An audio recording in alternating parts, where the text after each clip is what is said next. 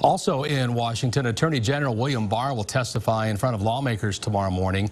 He's scheduled to appear before the House Appropriations Committee regarding the Justice Department's fiscal 2020 budget request. Now, the testimony comes as Barr continues to face questions about if he will publicly release special counsel Robert Mueller's completed report on the Russia investigation. Some have argued that Barr's four-page summary does not accurately depict results of that investigation. Barr's testimony is scheduled for 8.30 in the morning.